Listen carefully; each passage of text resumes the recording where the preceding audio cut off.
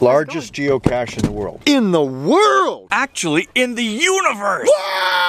No. Yeah, right. No way.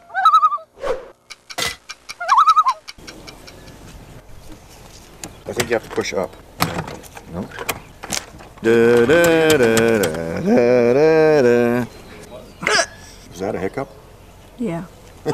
No pressure, Karen. Yeah. Oh, we're in. Ta-da!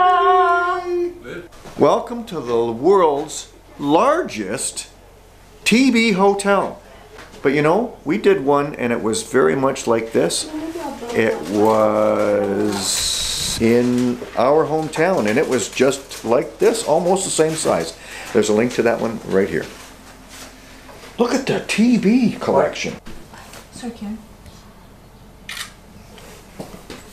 You done it? Anna was here, Little Thump. See anybody you know? Three happy campers. They're going to be in our episode for uh, an event in Chattanooga, right there. Chunky Chipmunk. That's a good name. Sounds like roadkill. what you doing, Blue Quasar? I'm logging the world's largest travel bug hotel geocache. Woo! Well, what did you think?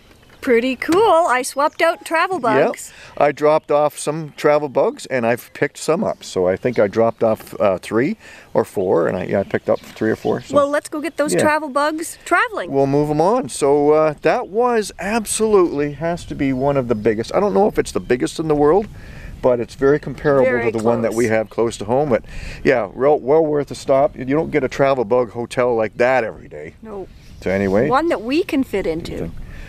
Keep watching. There's more caches to be found. yeah. And where will geocaching Take you. you?